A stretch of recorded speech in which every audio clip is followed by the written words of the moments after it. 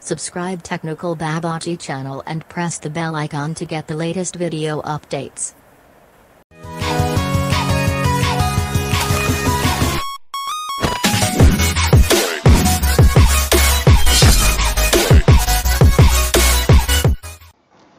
Hi, it's me Tarique Akhtar Ansari. Welcome to the part 6 of Angular 8 tutorial. In this video, we are going to understand what is a component with a practical example. Component like Lego pieces in Angular application, if you don't know how to put them together properly, you are not going to build anything cool. Over the next few minutes, we are going to learn how to generate the component inside Angular application and how to put them together to define a view. What is a component? That first question comes in our mind. So, components are the fundamental building blocks of Angular application. They display the data on the screen, listen for the user input and take action based on that input. A component is nothing but is a class with a view template and a decorator. In simple words, we can say that a component is composed of three things template, class, decorator. Template defines the user interface. So for building a template, we use HTML, directive, Angular directive and data binding. Class contains the view logic of the template as we know that HTML is not a programming language. So we write the logic inside the component class.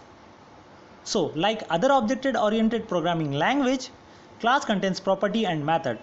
So normally Property contains data for the templates and method contains the logic for the view. In Angular, we use TypeScript for defining the classes.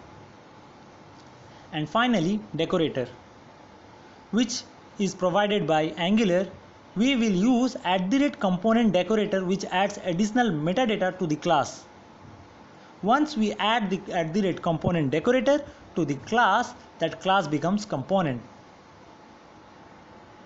So now let's see practically what is a component. Now I am inside my Visual Studio Code. So before generating a component, for this video I'm going to generate a new Angular application. For generating an Angular application, so we have a command ng new and application name. So here I'm giving app test.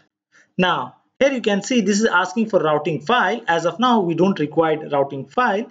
So I'm giving no as an input and it will ask for SCSS, SCSS, this type of files for styling sheet.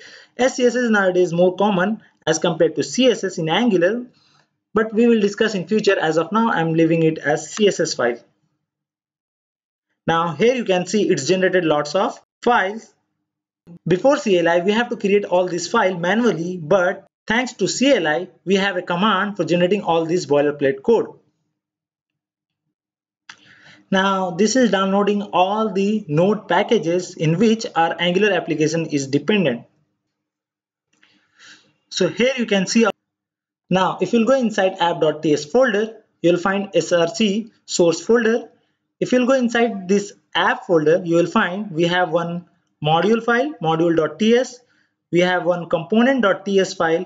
So if you'll go inside this component.ts file you can see we have one class and we have one decorator and here you can see template URL. So as we have discussed component is composed of three things class, template and decorator.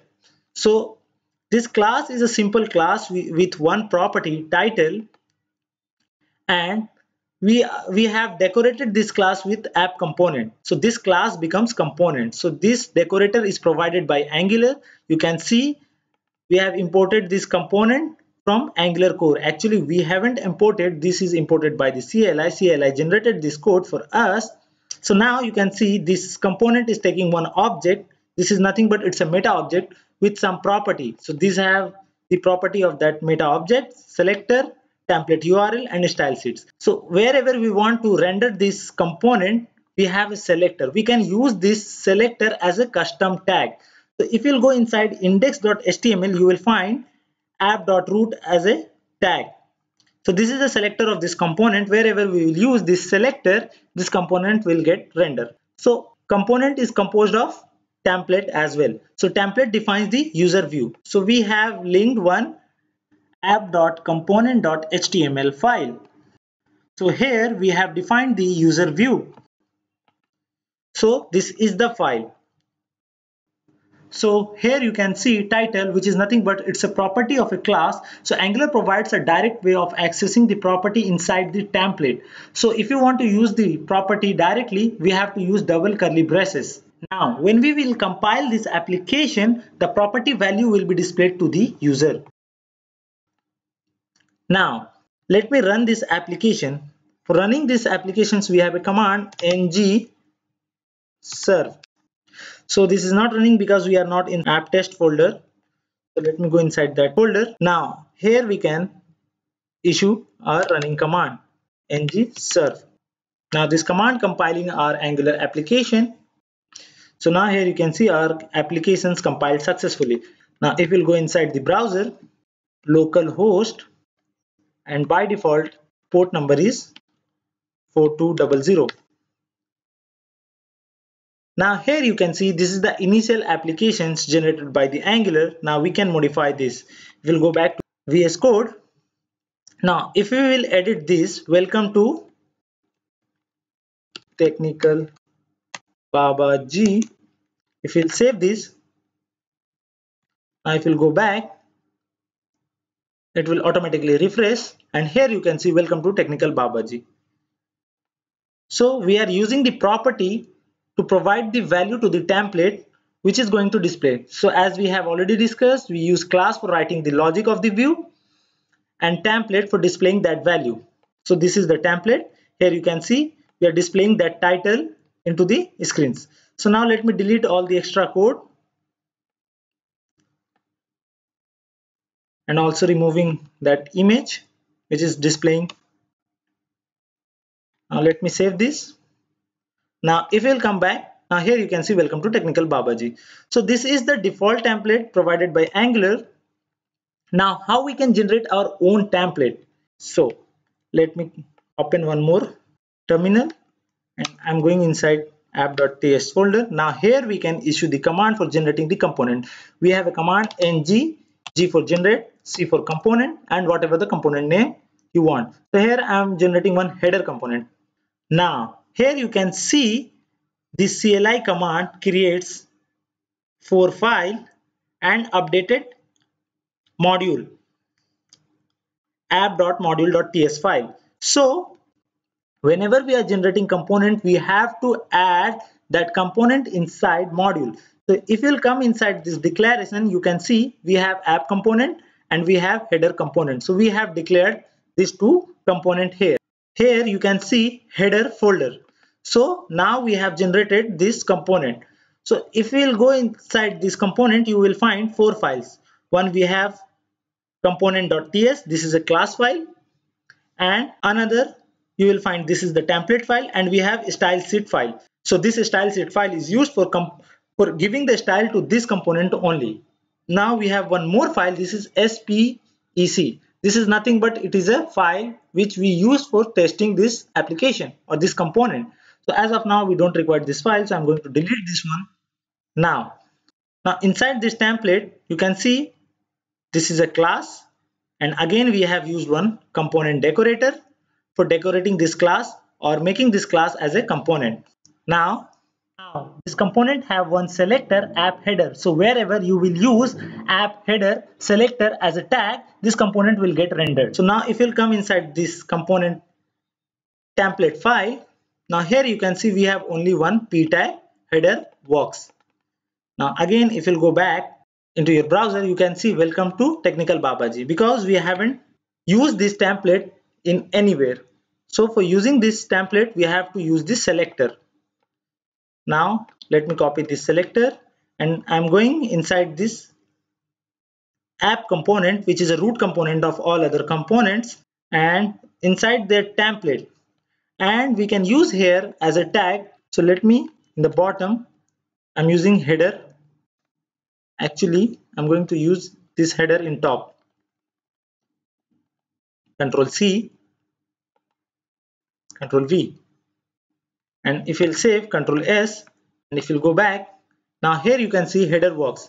This is working two times. Let understand why this is working two times because we have used this header twice in the same file. So selector works as a custom tag wherever and how many times you will use this stamp component is going to render that much of time. Okay?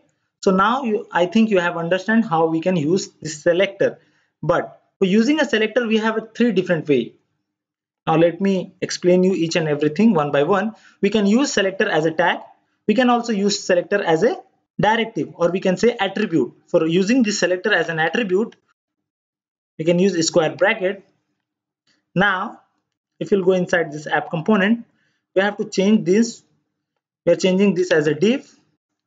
And inside div i'm going to use app header as an attribute. Control c control v and i'm removing this the bottom one and let me save this. If i will go back so this is not working because we haven't saved our file. Come back inside header.component let's save it and go back. Now here you can see header works. So this is the another way of using the selector in component. Now we have one more way we can use as a class. Now let me show you once more time if you want to use selector as a class we have to use dot before it. And now if you go inside the component now we can change this. Control x class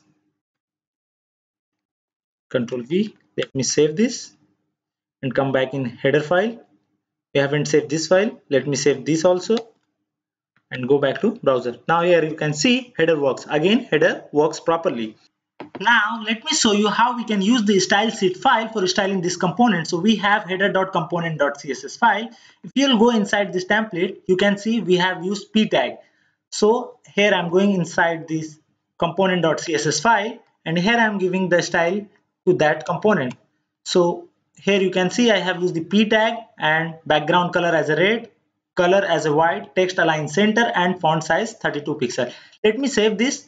Now if we will go to the browser you can see the changes so I have applied this style to this header only component so normally we use the component to divide the whole view into the different different part and we can reuse this component wherever we want so this is the advantages of Angular. So thank you guys for watching this video.